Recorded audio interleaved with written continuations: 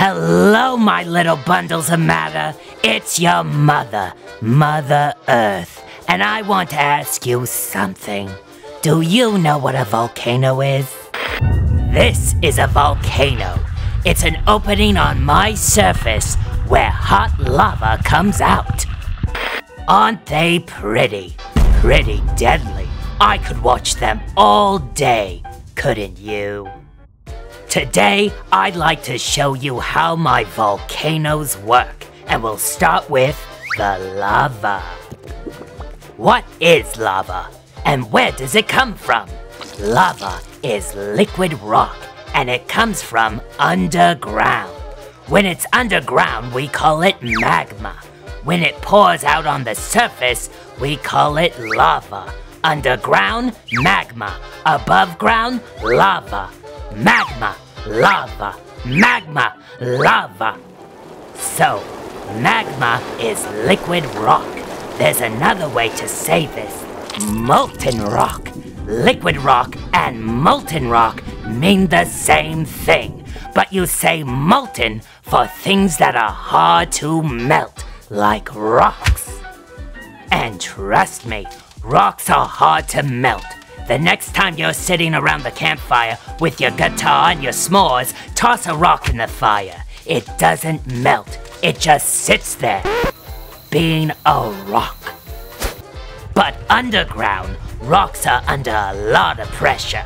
They're being squeezed very hard on all sides. And when you squeeze things really hard, they get hot. So, some underground rocks get hot enough to melt. But there's more to it than that. You see, I have layers, like a lasagna.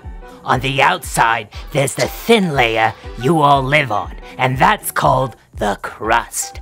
The next ah! layer is called the mantle, and in the center of the earth is my core, and those are my layers. My core is under the most pressure, so it's hot. So hot, I'm steaming. My core is made of metal that's as hot as the surface of the sun. And this core acts like an oven heating up my layers.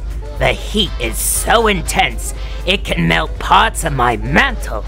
We're talking liquid rock, molten rock, whatever the kids are saying these days. But don't worry, sweethearts. It's not so hot that it melts everything. You're going to be okay. The crust is solid, rock solid, and even most of the mantle is solid. But I must confess, being the Earth isn't easy. I do a lot. I'm under a lot of pressure, and when I crack, things get a little crazy. And when that happens, the heat starts rising and the magma starts flying out of me. And boom, you have yourself a volcano. So sit down and enjoy the fireworks because it's showtime. Let me show you some of my famous volcanoes.